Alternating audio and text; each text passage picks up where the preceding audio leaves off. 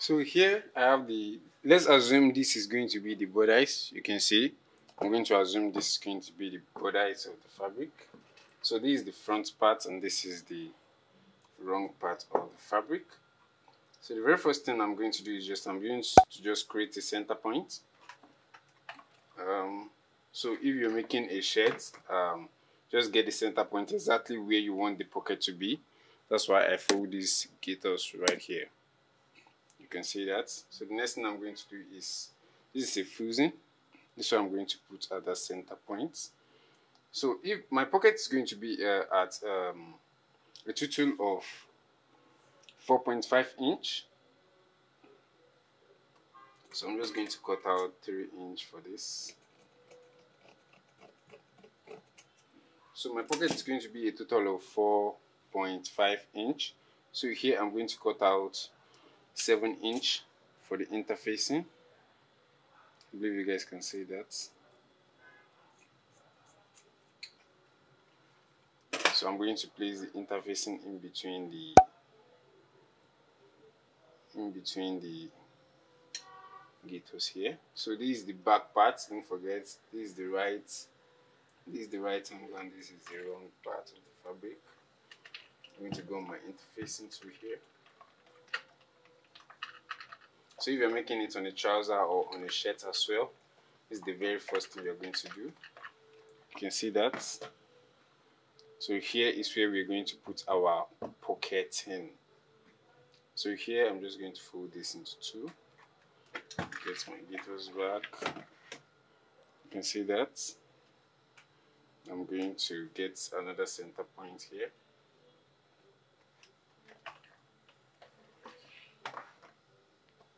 So here I'm going to divide my 4.5 into 2.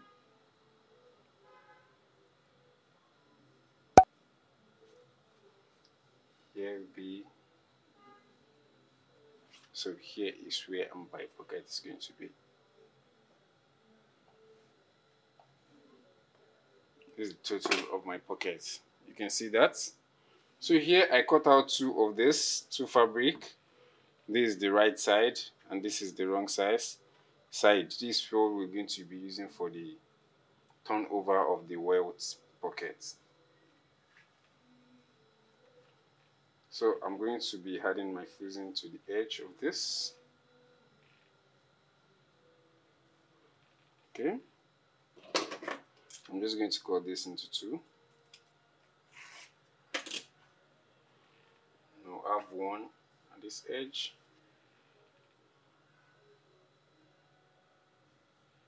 make sure you're gumming the right the right side.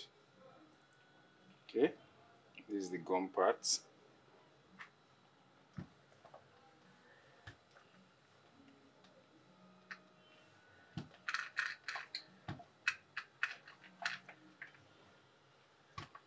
See that? Cut this out and here also is the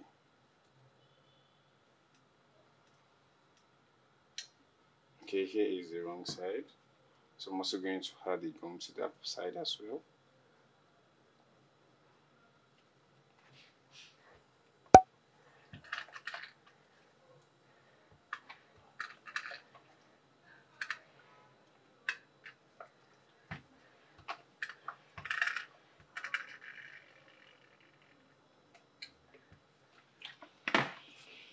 So you can see that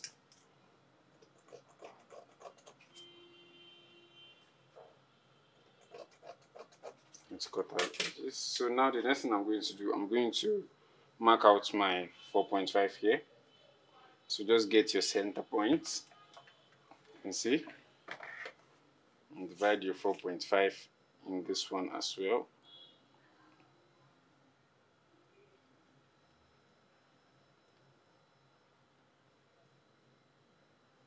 This place in between. Let's use a chalk on this side. You can see what we have here. So the width of the pocket, I want it to be a total of half of an inch. Half of an inch. So here I'm going to just place in my, so half of an inch divided by two, that would be like quarter. so I'm going to place in my quarter here mark my quarter here as well I'm going to mark my quarter here as well so I'm going to join it together. So this is the part that I'm going to stitch. You can see that? That's the part that I'm going to stitch. Also here I'm going to do the same thing. This one as well. Just marking marking calculate your quarter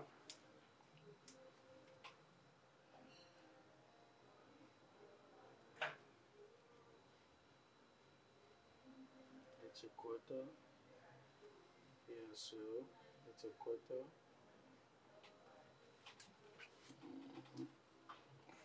let's join it together.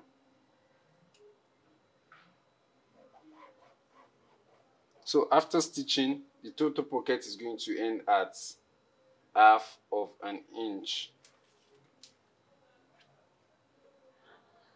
You can see that it's going to end at half of an inch. It's not up to one inch. Let me zoom that in so that you guys can see clearly. You can see it's not up to one inch. It's going to end at half of an inch. And then there's a gap in between here. The fabric is not balanced. It's going to be at half of an inch total. You can see? So that is that. So here this is what we're going to stitch together. We are going to add in our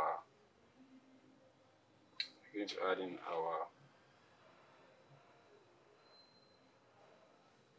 so you guys can see. So let's go to the sewing machine to do that right away. Okay, so I believe you guys can see this. Don't forget we already had our our interfacing to the back of the fabric. Just assume you're making a shirt or you're making a trouser.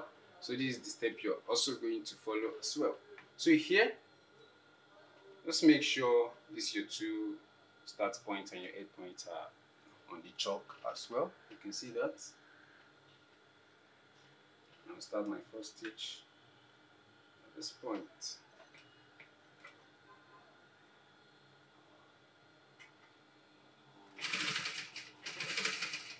Okay um here just to clarify this will be the upper part this will be the up of the fabric or maybe the trouser. So this side is going to be the up. Here will be up while this side will be down. Are you getting? So you don't forget that the upper part is where our our button tack is going to be. So here let's stitch that straight down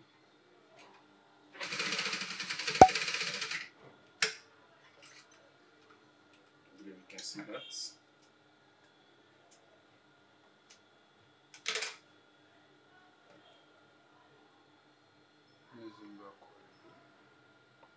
okay so here as well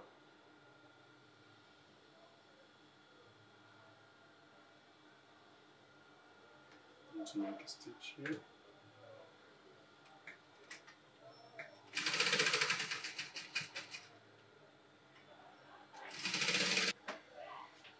so here I already fold in my you can see just cut a straight fabric and sew it straight just like this then you're going to fold it into two and iron it down just like that. So this is what we're going to place here. Just at our center point you know we already did the indicators we already fold this side. So at our center point we're going to place in this. It's going to okay it's going to be like this okay so you can easily and you can to stitch from here?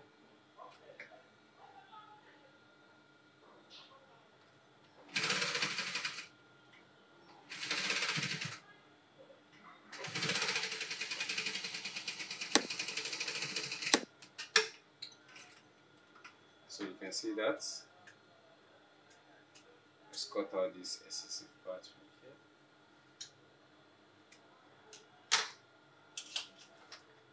Okay, so after that, the next thing we're going to do is this.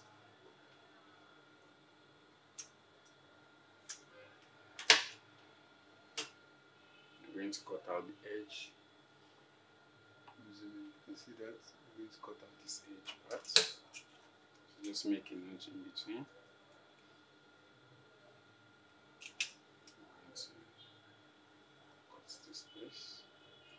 when I get like around half or one inch I'm going to make a dot here. And this place as well I'm going to make a dot here.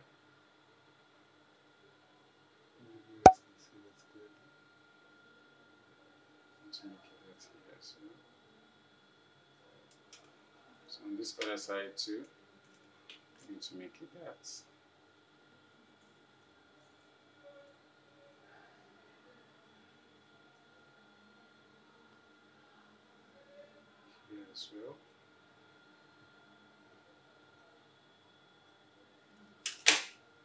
So when we turn this over,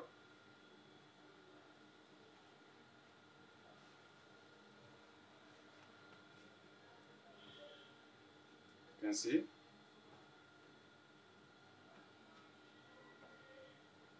Let's turn this one inside you can see there's something I want you guys to pay attention to during this process. So we have this so far. So I'll take you guys to the ironing table so we can I'll take you guys to the ironing table so we're going to iron it and I'm going to show you guys something very important. You can see what we have so far. So here, next thing I'm going to do is I'm going to take my time to give it a thorough ironing.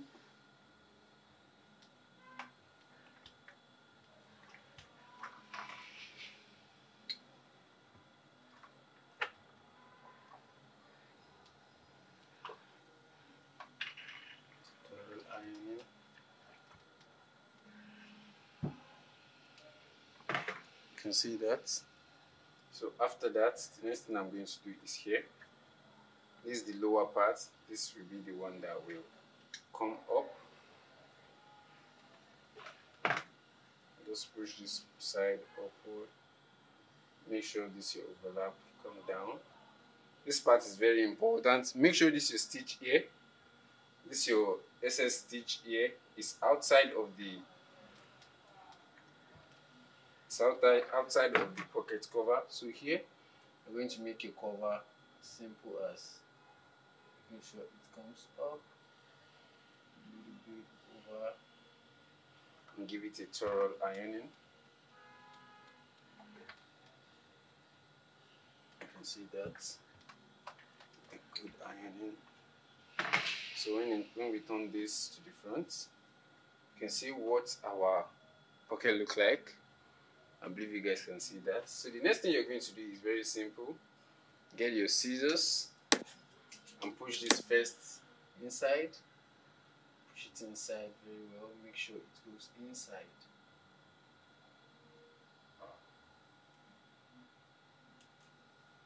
After it goes inside make sure you push in any excess thread at this point. This place has to come out very very clean. Make sure you push in any excess thread. You're going to take your time to give it a thorough ironing as well can see that. This side also. Push it inside.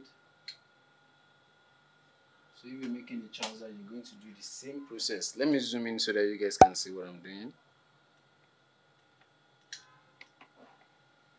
Okay. I'll turn the camera. Okay I'm zooming totally. So this piece push it inside as well.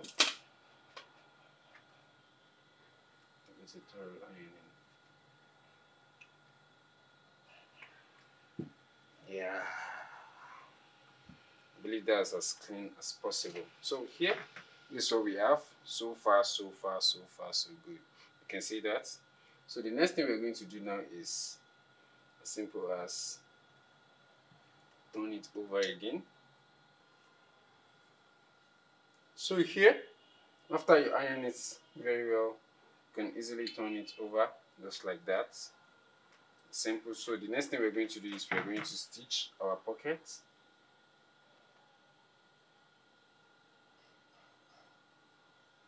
we're going to stitch it and make a circle. So let's go back. Oh I don't know why the focus keep running away. So let's go back to the sewing machine and do the stitching part so here the next thing we're going to do is we're going to run a stitch from here. Just make sure this thing here let me zoom in very well. You can see this particular head here make sure you're stitching it to the borders first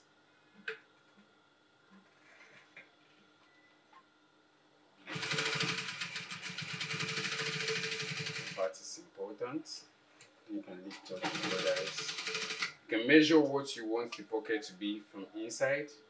Maybe you want it to be like 5 6 7 10 and you can make it 12 see at this point at this side as well. Zoom back. so at this side as well just lift it up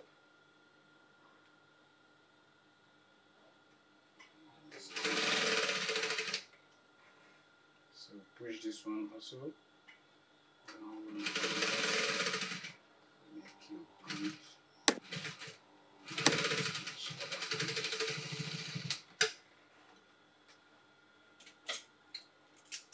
so far that's what we have. I'm just going to trim out this part. And if you're making it on a shirt you can easily weave it round. I'm going to weave it round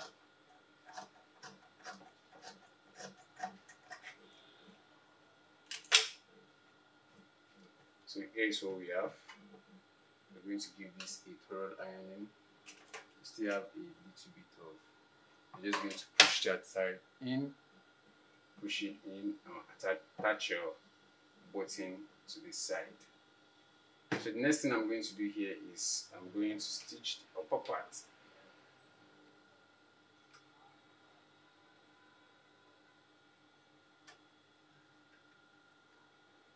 going to stitch this upper part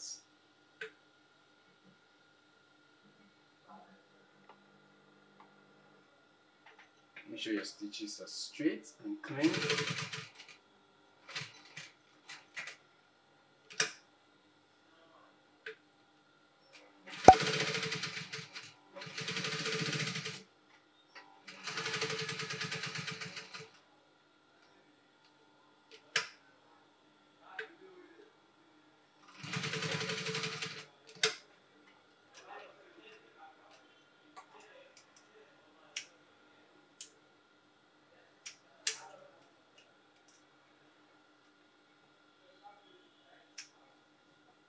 So this is what we have so far, so good. You can see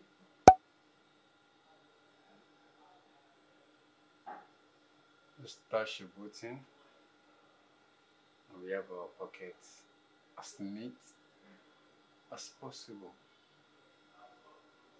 Just put in your pocket, attach your button to the side. So that's about it on how to make a welt pocket with a button strap. How to make a pocket, a welt pocket with a button strap. So that's about it. I'll see you guys for my next video. Peace.